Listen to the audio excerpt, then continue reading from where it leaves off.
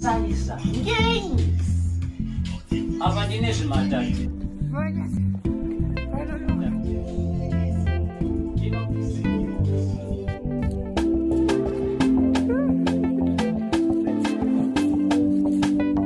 chichikunakidza what's happening? Uh, welcome back pachannel yedu craig marshall patokigire nyaya dzinenge dzichinakidza nyaya dzinenge dzichipisa nyaya dziri kuitika all around zimbabwe all around the world so i'm back again imi nyaya ndasangana naye ye this man this particular man who decided to wed four four one one two three four four women.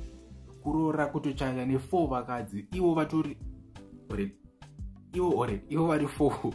Kutobvuma kuchatiswa nemunhu nemurume one inini i believe kuti zvepolygam like zvekuita vakadzi vakawanda zvaiexista kudhara but then in this century in this generation haa zvango zvinhu zvekudhara but then in the video uh, murume akutoratidza kuti munhu wekudhara murume wekudhara havazivi vakomana vemazuva ano. But then i just thought kuti not kungokuigirewo nyaya dzakangosiyana siyana so so ndichakuratidza vhidhio racho. Its not a long video though. So make sure to subscribe walike pavhidhio rinori wacommentsa down below. Tell us what you think. Do you think kuti polygam zvekuita vakadzi vakawandisa mazuva ano zvichiri style or zvakaperawo kudhara ini hangabelieve zvakapera kudhara but anyway tell us what you think.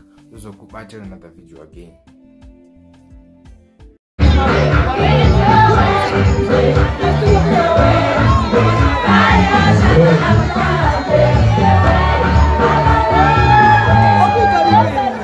There will be there.